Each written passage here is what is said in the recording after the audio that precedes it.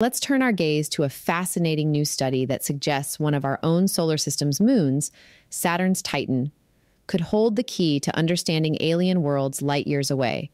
The NASA ESA Cassini Huygens mission, which explored Saturn and its moons from 2004 to 2017, provided incredible data, especially on Titan.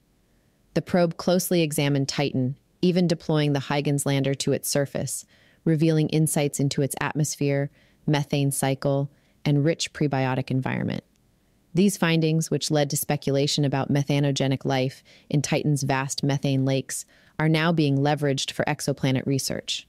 With next generation observatories like the James Webb Space Telescope, or JWST, we're moving from simply discovering exoplanets to deeply characterizing their atmospheres.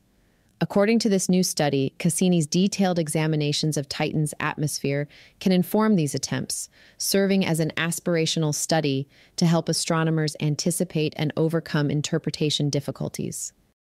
This significant research was led by Prajwal Niraula, a graduate student at MIT, and co author Julien DeWitt, an associate professor at MIT and leader of its Disruptive Planet Group. Their paper, currently under review for Astronomy and Astrophysics, consulted data from Cassini's Visual and Infrared Mapping Spectrometer, or VIMS.